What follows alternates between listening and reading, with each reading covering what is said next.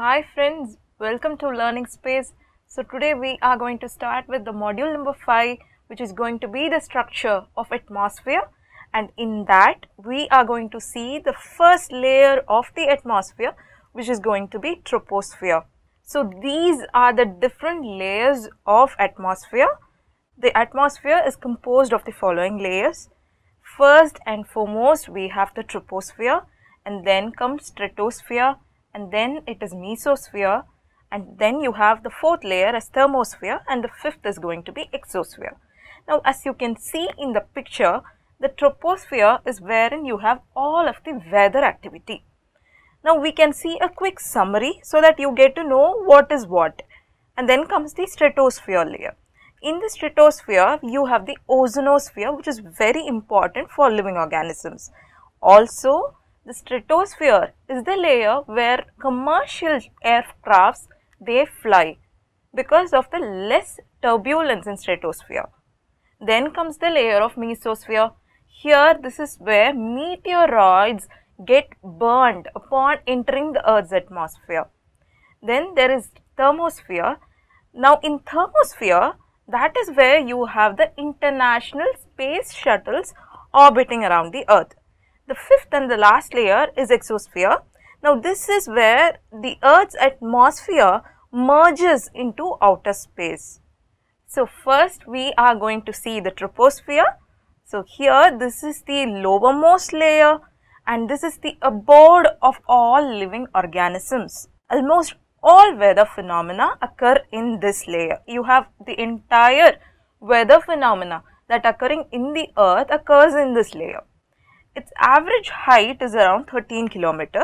However, there are some latitudinal differences in the case of troposphere that is its height is roughly around 6 to 8 kilometers above the poles and 16 to 18 kilometers above the equator. Now, this is what I mean by the latitudinal differences of troposphere. Now, the upper limit of the troposphere, it is known as tropopause it is known as tropopause because here there is a pause. This is a zone of pause where the mixing stops. That is why this is known as a tropopause because there is no further turbulence. We will be dealing with what is tropopause, what happens at the tropopause in detail. Before going any further, I need to clarify one point in this module. Now in this entire module, I have designed it in the format of a question and answer so that it will be beneficial for you in the case of mains as well as in the case of prelims. There can be numerous questions from this one module alone. So please pay attention to it as we go further. Now I have told you about tropopause and the troposphere. You may expect the troposphere to be in this format that is the tropopause to be entirely parallel to the surface of the earth. But in reality, this is not so. The troposphere on the tropopause, the upper limit of the troposphere, they are not exactly parallel with the surface of the earth. On the other hand, you have this sort of differences. In reality, this is what you expect. That is, it is wider at the equator and it is narrow at the poles. That is what we have seen in this point itself. It is wider around the equator and it is narrow around the poles. Now, why does this difference in height of the troposphere happen? This we are going to see as a question and answer itself because I think it will help you in both prelims as well as in mains. So, in another format, this would be the height of tropopause. If this is considered to be the surface of the earth, then this would be your tropopause there is a difference in height. This will be 16 kilometer in the case of equator and 6 kilometer in the case of poles. Why is it so? There are three reasons for the difference of the height of the tropopause or the troposphere. Now, we will analyze them reason by reason. The reason number one would be because of the heating differences at the equator and at the poles. Now, we very well know that at the equator there is a maximum heat. There is a high heat in the equatorial region which will heat up the air mass in those areas. Now what will happen is that when there is sudden heat in the equatorial region, the heated air mass will expand in volume. What will happen is it will become less dense and eventually they will rise up because whatever is less in volume and less dense, they will eventually rise up and this will cause a strong convection current. That is the reason why we have these thunderstorms here because of the strong convection currents. As soon as the air masses heat up, they rise above and because of the air parcel rising above, you have the strong convection current.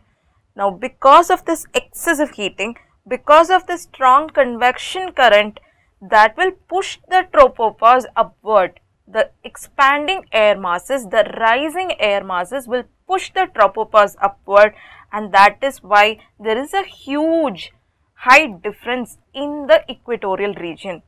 Because of the extreme convection current, because of the excessive heating pushes the air masses above and you have this 16 kilometer height difference in equator. Now coming to what happens at the poles. Now at the poles the reverse happens because it is extremely cold and what will happen if it is extremely cold? The air parcel becomes dense and it will start sinking. Now, once it starts sinking, height difference will obviously decrease because it is getting pushed inward and that is why the height will obviously decrease. Now, this causes the tropopause to remain at a lower height. Let's go back to the picture.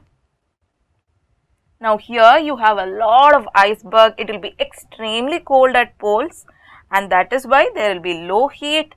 That is in fact, it will be very cold and therefore you will have sinking air and therefore less tropopause. Whereas in the equator, you have high heat, rising air masses and therefore higher tropopause. Now, this is another form of putting it in the pictorial representation. That is, in the case of equator, you have the heated air parcel that is rising. Therefore, here you have a lot of height difference. It will be wider around the equator. Whereas, in the case of poles, there will be cold air and it will be descending and therefore, the air, the height difference will also be low. Also, it will be very less wide at the poles, whereas it will be very wide at the equator. Heated air in the equator is rising while the cold air is descending. Now, this is another reason for the expansion of atmosphere or the expansion of the troposphere at the equator. Coming to the reason number 2. Now, this has to do with gravity of the earth.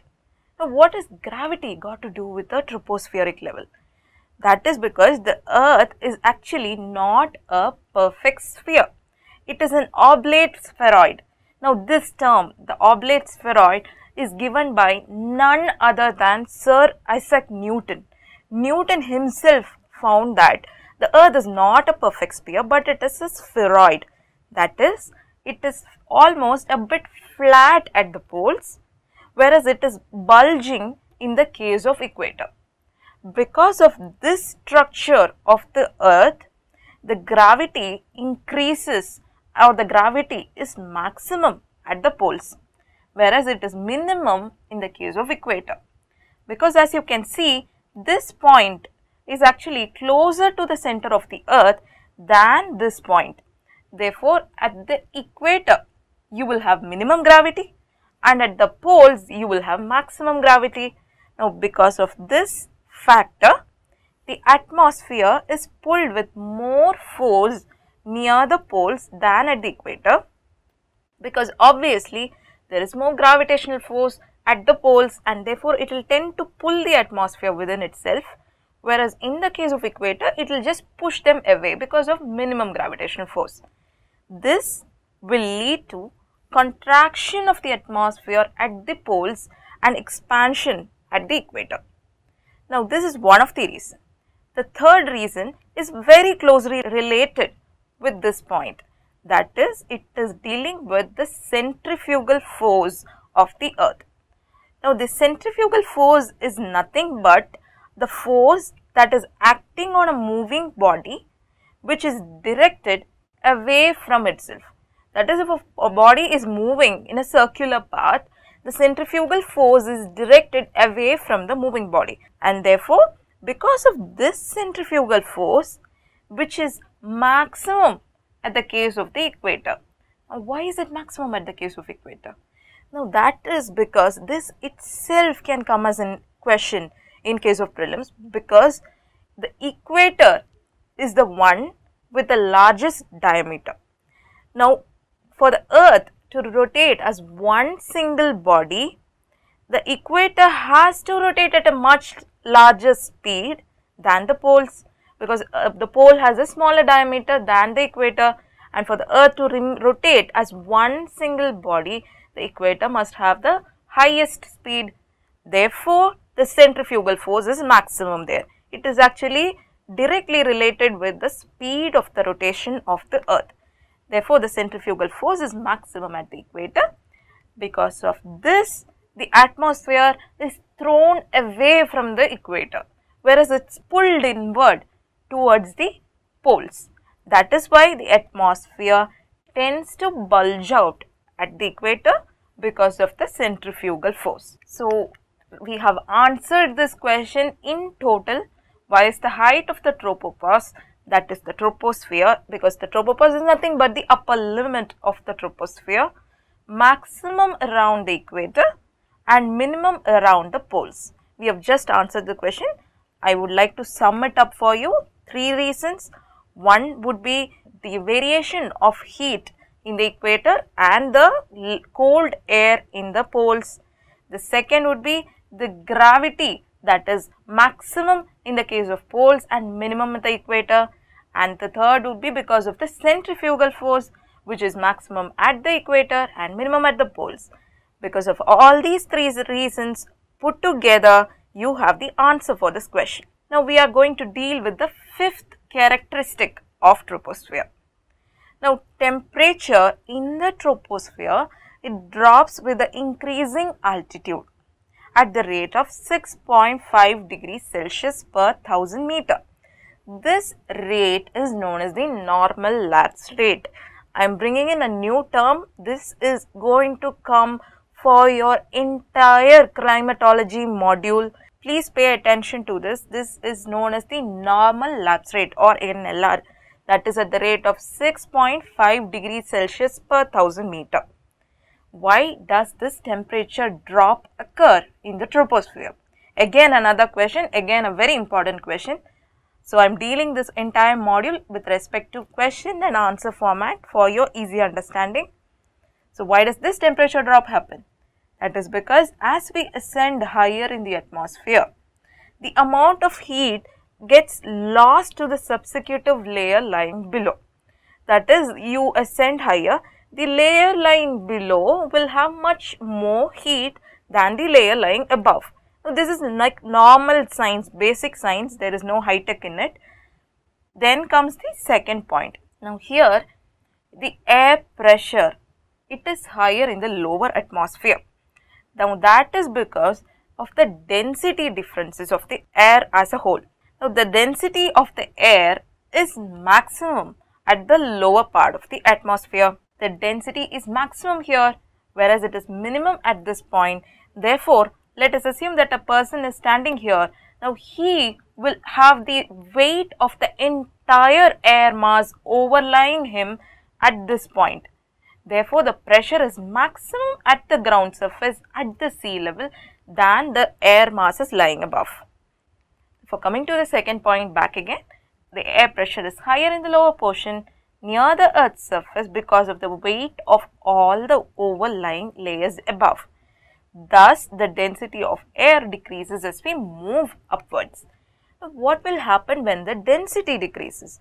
Now, when the density decreases, it means the number of air molecules present in the lower atmosphere is maximum, whereas the number of molecules present in the upper atmosphere is minimum only when you have a lot of air molecules, there will be good conduction of heat. There will be a good transfer of heat between the molecules. If there is less molecules, your heat transfer would be very less. That is why the lower layers experience a much more heat than the layers lying above. The third point is going to be that the lower layer of atmosphere contains more water vapor and dust particle. We have seen this already because in the water vapor session we saw that 90% of the water vapor is present within a height of 5 kilometer and that is the reason this is given. The lower layer of the air contains more water vapor and dust particles than the layers above and hence it absorbs large amounts of heat radiated from the earth's surface. Because of these three reasons, we have the temperature dropping as we move higher in the atmosphere, especially in the troposphere. We are talking this just with regard to troposphere. This NLR applies only to troposphere. So, this picture here it shows the connection between altitude, temperature and air density. Now, as the altitude increases, the air temperature and the density decreases. We just now saw how the density decreases with increasing altitude and as the density decreases, your temperature also decreases in the tropospheric layer. Now, as usual, we will see one question that has come in the past UPSC prelims 2012. Now, this has to do with the tropospherical temperature difference. Let us see the question now. The question is, normally the temperature decreases with increase in height from the earth's surface. Yes. So, because, because is being asked. Now, that is why I am giving you everything in terms of question and answer because now then you will come to know the same thing for prelims and for mains. So, the options are the atmosphere can be heated upwards only from the earth's surface. Yes, it is a true statement. There is more moisture in the upper atmosphere. That is absolutely wrong. There is more moisture in the lower portion of the atmosphere. So, this statement is wrong. The air is less dense in the upper atmosphere. Yes, we just now saw in the previous diagram the air is less dense in the upper atmosphere. So, the third statement is correct. The answer is 1 and 3 only. Now, we will analyze how we arrived at this answer so that you get a detailed picture of it. Now, statement 1 is correct. What was the statement 1? It was the atmosphere can be heated upwards from the earth's surface only because the earth's surface that will be heated by the incoming solar rays which is short wave radiation. On the other hand, the earth after absorbing the heat re-radiates it back and that is known as the long wave radiation. Now, we have already seen, you must remember this picture that we have already seen the long wave terrestrial radiation rises the temperature of the earth than the incoming short wave radiation. Now, this source of heat, it is known as the ground radiation or terrestrial radiation. In fact, we have already seen that more than the short wave radiation, it is the long wave radiation that the earth emits that heats the earth more than the short wave radiation. Now, coming to the second statement, uh, this has got to do with the levels of water vapor in the atmosphere. That is not true. The upper levels of atmosphere does not contain much water vapor. More than 90 percent of the water vapor is present in the lower level or the 5 kilometer from the earth's surface. That is where you have the maximum water vapor concentration. Now, coming to the third statement, it has got to do with the density of the air we have seen now the air is less dense in the upper atmosphere whereas it is more dense in the lower atmosphere and thus temperature is low in the upper atmosphere. Now we are coming to the sixth characteristic of troposphere. Now this particular point it deals with the seasonal difference of height of the troposphere that is it varies by season it is lower in the winter season whereas it is very higher in the summer season. What is the reason for this seasonal variation of height? That is what we are going to see now. Now, as you can see from the picture, this would be the polar tropopause The black colored layer is the polar tropopause whereas this would be the tropical tropopause and obviously A is much greater than B because this is going to be almost 16 or 18 kilometers whereas this is going to be just 6 or 8 kilometers. Now when it comes to the winter or the summer season, there is a difference. That is what we are going to see right now. In the winters, the air becomes very cold, that is it becomes more dense. Colder air starts sinking, we have seen it already and why does it start sinking? That is because its density is actually increasing. Cold air becomes more dense, therefore in general there is a drop in height Look at the figure here. In the case of winter tropopause, there is a drop in height. The height actually decreases and that is because of the increasing density during the winter temperatures. Over the equator, you don't see this phenomena because there is very less seasonal differences in the case of equator. They mostly have uh, throughout the year they have the same temperature, almost the same temperature and therefore you cannot expect a winter in the equator. Hence, this variation is not greatly observed over the equator. So, this has got to do more with the poles alone. This seasonal variation has got to do more with the poles alone. Coming to the third point, however, as we move towards the poles from the equator, the height increases during summer and it decreases during winter. That is because during the winter season, your air becomes dense and therefore it is getting sinking. On the other hand, during summer, the air would be obviously heated even around the poles, there would be a light increase of temperature and that is why there would be an expansion of air. Air becomes a bit less dense during summer and therefore you have an expansion of atmosphere. By this way, you will have the seasonal differences of troposphere and by that the tropopause. Now coming to the seventh characteristic of troposphere, there is an altitudinal variation of temperature. What do you mean by that? Now what happens exactly at the tropopause? That is what we are going to see now. The zone separating the troposphere from the stratosphere is known as tropopause. No doubts about it and then this tropopause it actually acts like a lid for the troposphere. It actually doesn't let the troposphere to mix with the stratosphere. It is 1.5 kilometer thick. There is an isothermal layer. The tropopause is actually an isothermal layer as the temperature gradient is nearly constant. What do you mean by that? That is like you're in this tropopause layer, the temperature would be almost constant. There would be no variation because there would be no turbulence. Therefore, there would be no variation. Now, look at the same figure where you have the troposphere. We just now saw temperature drops with the increasing altitude. So, you have the graph going in this direction because the temperature keeps on decreasing as the altitude increases.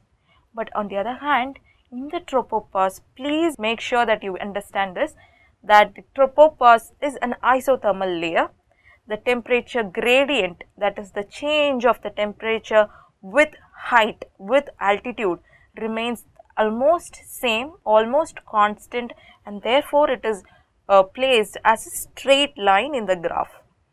Now, the air temperature at the tropopause is about minus 80 degrees Celsius over the equator, whereas it is minus 50 degrees Celsius over the poles. Beware about this point. This is a very, very crucial point. The temperature is lowest above the equator in the tropopause and not at the poles. Please, please do pay close attention towards this point because people may think that it is the other way around, but actually it is not. Why does this temperature difference happen? The temperature is lowest at the tropopause above the equator than at the poles. Why is it so?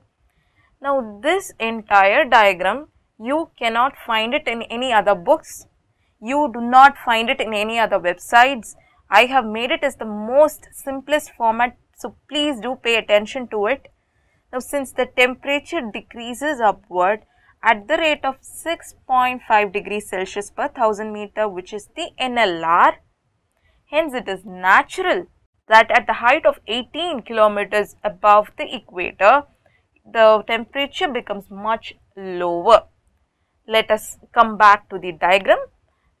Here the equator, let us assume that it is having a temperature of 32 degrees Celsius. Now, in the poles, you have the temperature of 0 degrees Celsius. We are actually taking an average of temperatures in equator and poles. Now, at the tropopause juncture, that is here above an altitude of 18 kilometers over the equator. Now, this entire region is nothing but the troposphere. This limit is nothing but the tropopause. So, at the edge of the troposphere that is at the tropopause, when you ascend 18 kilometers, what happens? When you ascend 18 kilometers, you have a drop of 6.5 degrees Celsius for every kilometer. So, you have 18 into 6.5 which is minus 117 degrees Celsius. There would be a drop of 117 degrees Celsius. Now, if you have the temperature at the equator to be 32, say for example, then at this point in the tropopause, your temperature would be 32 negative minus 170 which would be minus 85 degrees Celsius very, very, very simple math. And then now come to the polar structure. Here you have a height of 8 kilometer of troposphere and therefore at this point in the tropopause you have 8 into 6.5 degrees Celsius which is minus 52 degrees Celsius. So, if you have 0 at the surface and then what will you have at the point in the tropopause? It would be nothing but minus 52 degrees Celsius.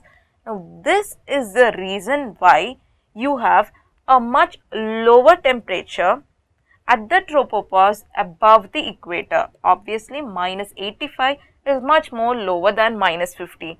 Now, this is the reason why because of the NLR, that is the reason why tropopause above the equator has a much lower temperature than the tropopause at the poles. I am sure you would have understood all these points. Please do analyze them in the concept of question and answer only because only then it will help you in the case of prelims and mains. Now, thank you so much. We will catch you up very soon in the next session. Thank you.